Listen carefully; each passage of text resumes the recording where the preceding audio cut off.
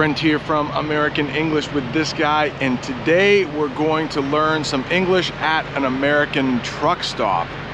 Now it's a cold, rainy morning, a little before the sun is coming up, but I wanted to get here early because all of the trucks are still here and a lot of the truckers, it's what we call people who drive trucks, they're still sleeping in their trucks. So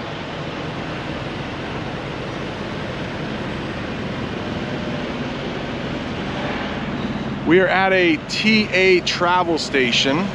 These are pretty popular in the United States for truckers.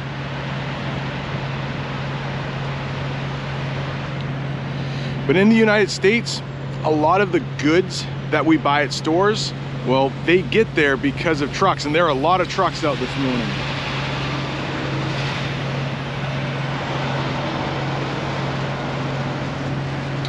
This is an exit just off the highway. And these trucks are so big, they need special gas pumps. Really long gas pumps so they can drive their trucks into them. And that's what we have over here.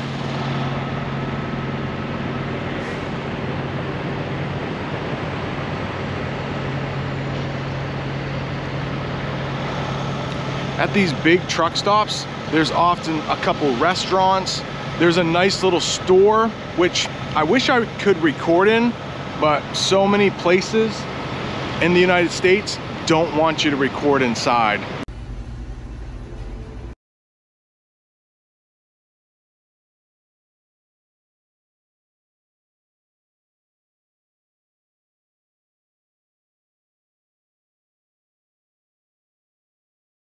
They probably think it's a little weird that I'm recording out here, but where else would you learn English at an American truck stop if not for this channel?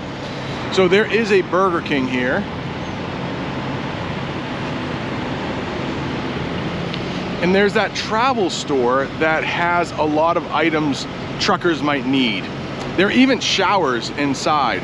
There isn't a hotel here because most of the truckers just sleep on top of their truck. Uh, in the cab, we might call it.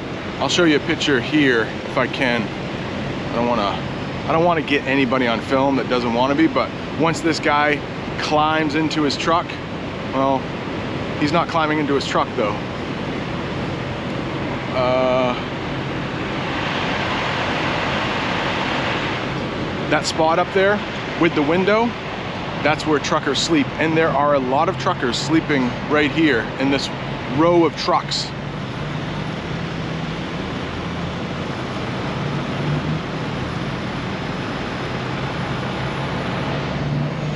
If you saw the English lesson that I did at an American rest area, I talked about idling.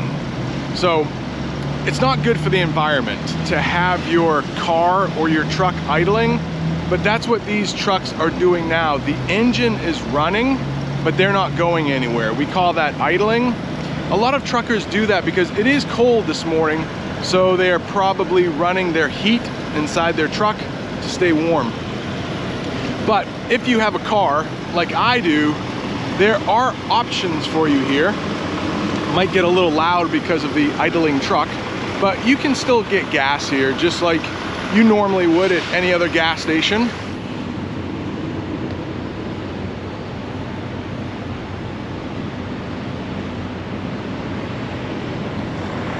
You want to learn the word squeegee? There is a man squeegeeing his car right now. I'm not going to show anybody, but this is a squeegee right here.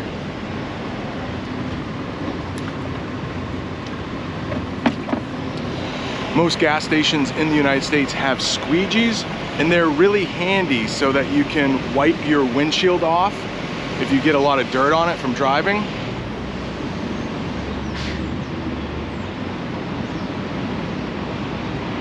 So there are two restaurants there. One is fast food. That's Burger King. You probably know that one. And the other one is closed, but I think it's called Country Pride. I think that's what that CP stands for, Country Pride. And we would call that more of a sit-down restaurant. If you have a little more time, you might have a server who brings you your food and uh, maybe a little bit better meal than the Burger King one, but the Burger King meal is quicker. Uh, I talked about windshield. There's a car over here that I don't think anybody's in. I'll show you what the windshield looks like before I get kicked out of here. There's a man at the gas pumps that was uh, looking at me, but I think he's okay. Actually, actually somebody's sleeping in that car, so I don't want to go up to that car. There could be a lot of people sleeping here in the parking lot, like the car behind me, right there. There actually is somebody sleeping there. We could always go to my car and I could show you what the windshield looks like.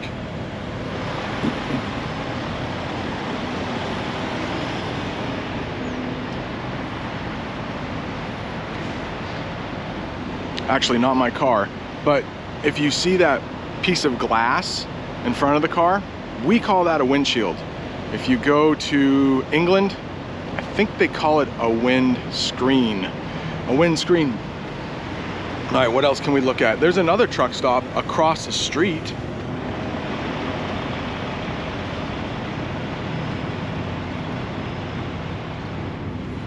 I don't know what that building is directly across the street because it's for sale. It looks a little run down.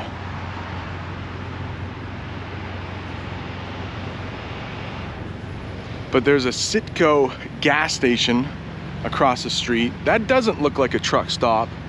But down the road, there is a pilot. Oh, let's talk about that because I've had that question before. Down the road, up the road, what's the difference? I actually could say both. I happen to say down the road right there, but I mean, if there's a little bit of a hill, you might want to say up the road, but it doesn't matter. Hey, down the road a little bit is another truck stop.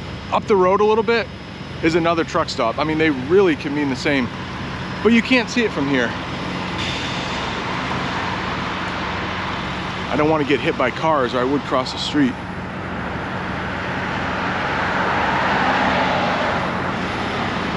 All right, next one. English lesson at an abandoned building. I'm curious about this building here.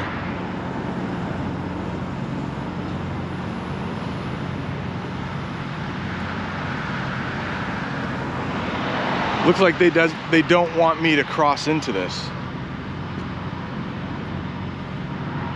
Looks like they want to try to keep people out. Traffic cone or pylon. That's what we call this thing. Traffic cone or a pylon. Over here, it doesn't say for sale or for lease, it says for rent. I'm sorry.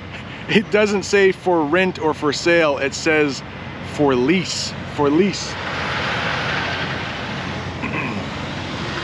Not a whole lot of difference between renting and leasing in English.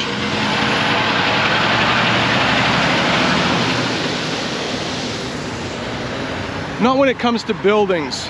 When it comes to cars, there is a big difference. If you lease a car, you probably lease it for about three years. And if you always want to have a new car, then that's a good thing.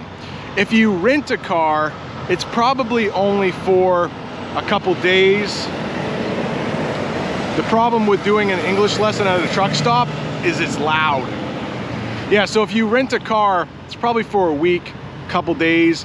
Leasing is for much longer, but you have to give the car back when you're done you never own the car. So I don't, I don't know why it says leasing the building there.